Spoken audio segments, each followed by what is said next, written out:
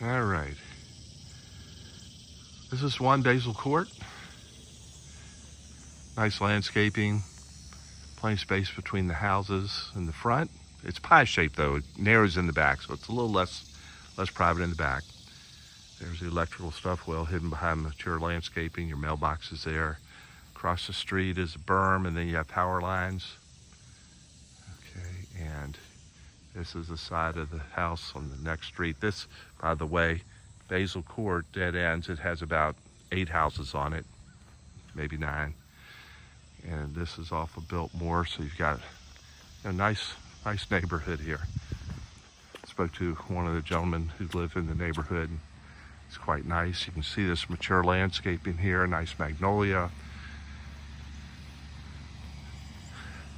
Nice work around the uh, plantings. Great space here on the left again. It is stucco. It's been replaced on the left and the right side. It does have a side door out of the garage and two-car garage.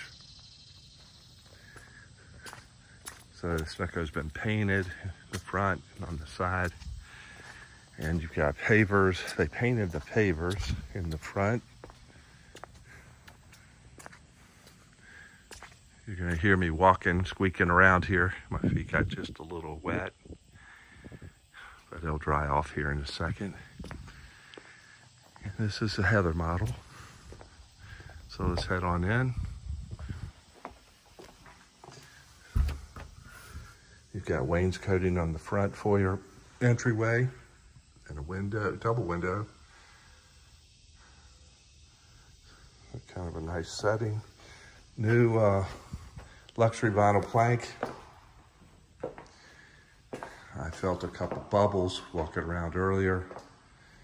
So it needs a little bit of extra work here. New cabinets. Looks like they put in the put or put those in around the original granite countertops, left those. But the cabinets and trim work and the painting in here is nice. You've got a light over the sink. Let me get that on. Okay, they put an LED in there, that's nice. And this is open into the great room, living room.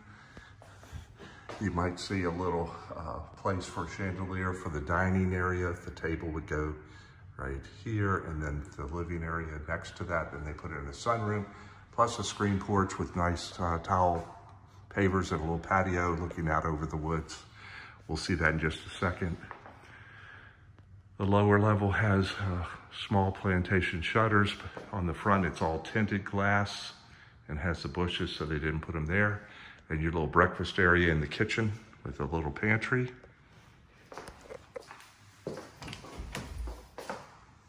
Okay. And they've got new appliances in here. Dishwasher, got the stainless steel and black, Samsung microwave, Samsung range, electric cooktop, Samsung refrigerator, and Samsung on the dishwasher too. Now over here, like in all these models, you have a washer and dryer area closet. Some people will turn that into a pantry and put the washer and dryer out here in the garage. They put a couple cabinets up here. You've got in the back left, that's the uh, hurricane shutters. They don't really need them. They're not even required anymore. You do have a little bit of venting to the attic.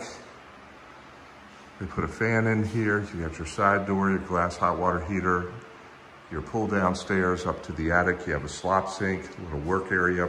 So some people put the washer dryer out here and then convert the uh,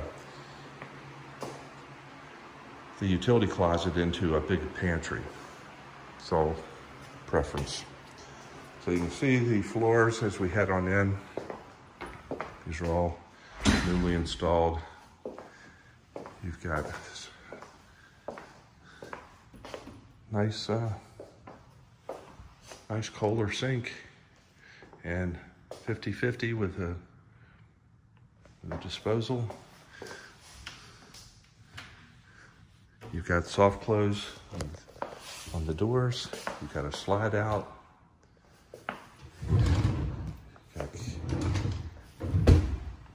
That cabinet's not soft close. I mean, that drawer, but the, see, they put in the nice little hinges. It's pretty simple. Okay. And backsplash is kind of a subway tile backsplash, but it has, it's not, it's, it's got some contouredness to it. All right, so from the foyer, we're gonna head into where the dining room would be. Dining area, then the living area. And I'll turn around and show you the front door. They do not have a uh, storm door on there. It's a six foot eight door. It has crown molding around the home everywhere, which is nice. Nice casement windows and the wainscoting there. So you've got mature hedges all the way around the home. And the bubble I felt, which I felt again, was right here on this transition.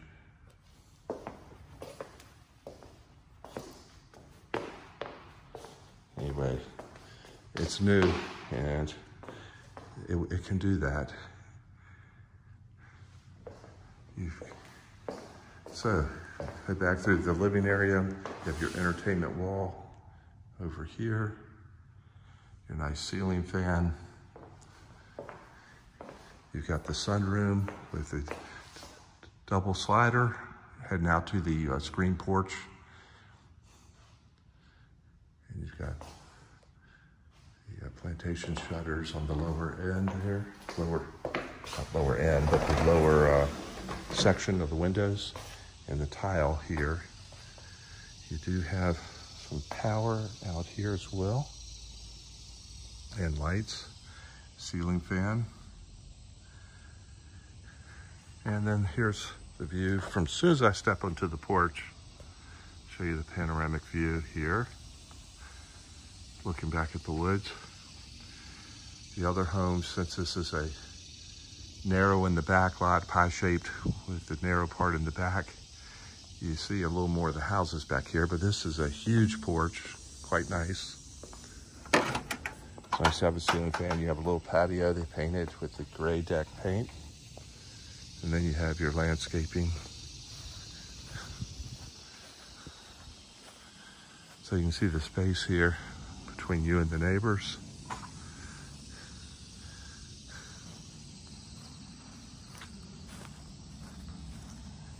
Back of the house looks nice. Side yard, again. Very peaceful and quiet back here.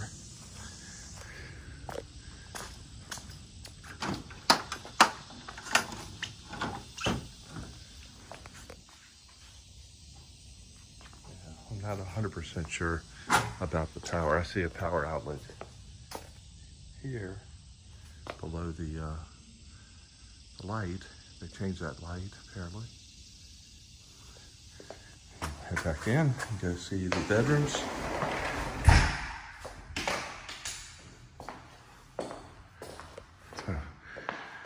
There's a view of the living area again.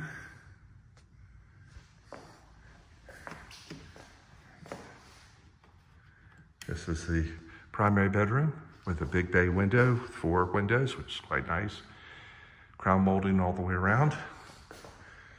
And the new luxury vinyl plank goes throughout the whole house. This is the primary bathroom, new countertop, new, well, the cabinets may be original. The, the mirror has to be replaced. You can see where they had the, uh, this, where it used to go inside this framing. So they're probably just waiting on that to come in now new uh, cabinet, I mean, new toilets. It's a comfort height and elevated uh, which is nice. Then you have a big walk-in closet, which is double racked perfectly and goes way around. So you have lots of space here. And you do have a vent for air conditioning, but you also have the pop-up here for the air handler servicing. There's a light switch, takes care of that here. So it's on with the red light and the HVAC people can come in and service your refrigerator. I mean, your, uh, yeah, if they have to put refrigerant in or anything else, they can take care of the HVAC. And then here is the shower. It's a fiberglass insert with two seats. So they haven't done anything to the shower. And I can't tell if this is new, new, freshly painted in here or not. Probably. So we'll head back to the guest bedrooms.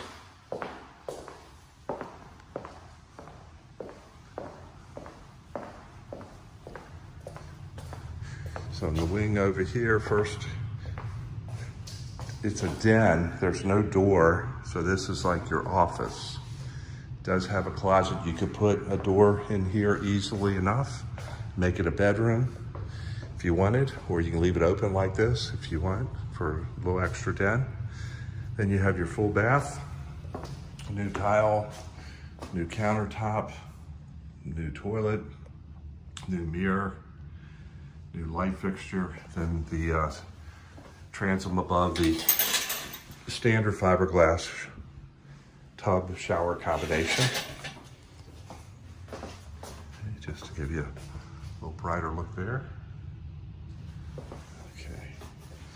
And then the other guest bedroom is back here behind the garage, kind of standard. When I go into these thresholds, sometimes feels a little bubbly on the uh, flooring. It does have the foot molding and the crown moldings and nice ceiling fan and a window. So it, it works as a guest room or an extra office if you needed to. And